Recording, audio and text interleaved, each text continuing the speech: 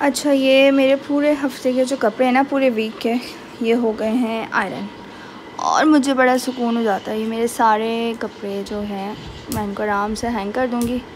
ये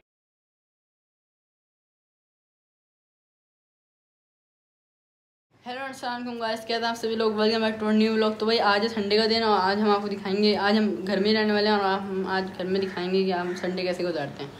तो जी तो अस्सलाम वालेकुम क्या हाल है आप सब लोगों के? सो so, आज का ब्लॉग स्टार्ट कर दिया है अयान ने। तो क्या हाल चाल है आप सब लोगों के? तो सीन कुछ हुए हैं कि आज है संडे का दिन और आज हम आपके साथ सिंपल अपने संडे की रूटीन शेयर करने वाले हैं। वीकेंड पे हम दो चार जगह जाके आ चुके हैं तो आज हम कहीं जाने वाले नहीं हैं। आज हम सिंपल घर में ही रहने वाले हैं। तो बनाते हैं सबसे पहले लोगों के लिए नाश्ता और उसके बाद पूरा दिन हम आपके साथ शेयर करेंगे कि आज हम संडे को क्या करते हैं। आप लोग बताएँ क्या सीन है, क्या हाल चाल हैं सबके? होपफुली सब लोग ठीक ठाक होंगे। तो भाई, बहुत बहुत शुक्रिया कि माशाल्लाह व्लॉग्स में हमारे बहुत ज़्यादा व्यूज़ आ रहे हैं सब्सक्राइबर भी इंक्रीज़ हो रहे हैं। बहुत शुक्रिया आप लोगों के इतने प्यार का। तो do like and subscribe and share my channel जी तो यहाँ पर हम बना रहे हैं इनके लिए पराठे और मेरी कोशिश होती है कि संडे को मैं इनको घर का ही नाश्ता करवाऊँ। और देसी घी में इनके पराठे बन रहे हैं बड़े मज़े के। और जो देसी घी मैं यूज़ कर रही होती हूँ, जो मेरे पास होता है, ज़्यादातर वो ऑलपर्स का होता है। एंड दिस इज़ माई पराठे। यू कैन सी के कितने मज़े के बने। और ये हमारे रात का सालन है, ये हमारा ऑमलेट है। And this is my cutie Alisha जानी। अलीजा, आप कुछ कुछ मूड सेट लग गया अच्छा चलो नाश्ता करो। फिर हम तुम्हारी फरमाइश पूरी करते हैं। आज आज अलीशा की पूरी फरमाइश पूरी हो जाएगी। डोंट वरी चलो। जी तो यहाँ पर हो रही है हमारी लंच की प्रिपरेशन और आज हम बना रहे हैं चिकन क्रीमी हांडी। और ये बहुत ही मज़े की और बहुत ही क्विक रेसिपी है। और इसके लिए हमें चाहिए ये प्याज पेस्ट प्याज का और दही क्रीम और गार्निश के लिए हमें हरा मसाला और टमाटोस चिकन और ये बड़ी जल्दी से बन जाती है, बहुत मज़े की बनती है और बच्चे शौक़ से खा लेते हैं। अच्छा इसके बाद ये हमें थोड़ा सा ड्राई मसाला चाहिए और ये लहसुन कुटावा। तो चलें, बनाते हैं बच्चों के लिए चिकन क्रीमी हांडी।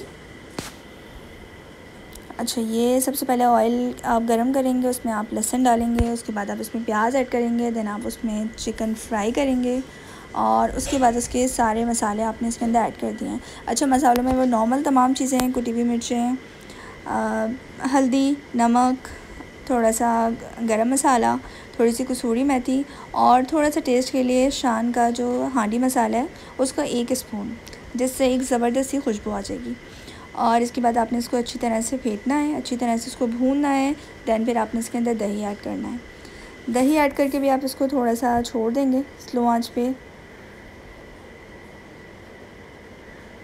बहुत ही मज़े की ये बनती है और बड़ी जल्दी बन जाती है ये।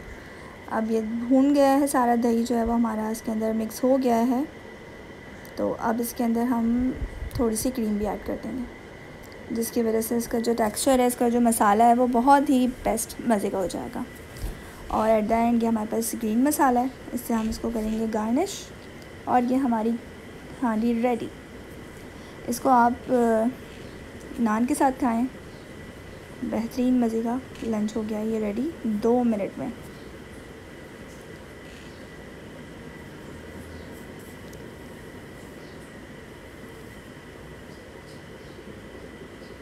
और मैं आपको इसको फ़ाइनल लुक भी दिखाती हूँ। दिस इज़ माई चिकन हांडी बहुत ही मज़े की और बेहतरीन। जी तो आफ्टर लंच ये इनका स्क्रीन टाइम है। अयान कितना टाइम हो गया अभी? अभी तो लिया। है। And this is their pictures ये इनके पूरा रूम का जो है वो रिकॉर्ड है। ये हम लोग जब इस अपार्टमेंट में शिफ्ट हुए थे तो मैंने ये करवाया था सारा। सारी पिक्चर्स हैं इनकी ये। ये उम्र की हैं, ये इनकी बर्थडे की है, ये इनकी ईद वगैरह की है। तो चलो भाई, हो जाए तुम लोग का टाइम तो फिर पढ़ने बैठो बैग्स लगाओ, ठीक है? शेक पियोगे आम का? मिस्टर बिज़ी आम का जूस पियोगे, चाय पियोगे? चलें, चलते हैं तो फिर इनके लिए आम का जूस बनाते हैं। और ये बन रहा है इनका आम का शेक। अच्छा हमारे घर में ना आम इतने शौक़ से खाए जाते हैं कि जब तक आम का सीज़न होता है, या तो सुबह नाश्ते में, या ये शाम में। लाजमी डेली बेसिस पे आम का शीख लाजमी होता है। और ये हमने सारे काम करने के बाद फाइनली मैं इनको पढ़ाने बैठ गई हूँ। अच्छा वैसे तो ये दोनों कोचिंग जाते हैं।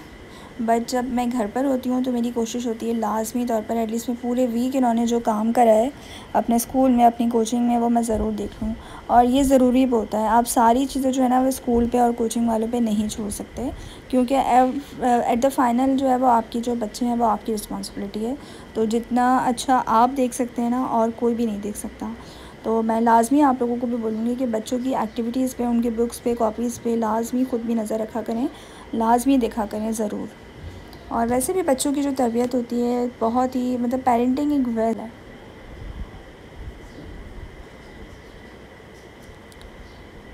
अच्छा वैसे माशाल्लाह मेरे धावा पढ़ने में मुझे तंग नहीं करते। दोनों के ग्रेड्स वगैरह भी बहुत अच्छे आते हैं, दोनों की राइटिंग वगैरह भी बहुत अच्छी है।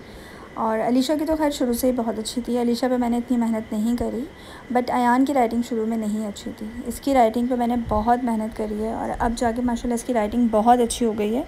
इसको मैं डेली लिखवाती थी डेली एक एक वर्ड मैंने इसका सही करवाया है कि मीम कहाँ जाता है, दाल कहाँ जाता है इंग्लिश में ई किस तरह से ऊपर नहीं जाते, नीचे लिखते हैं काफ़ी सारी चीज़ें आपको ना खुद देखनी पड़ती हैं।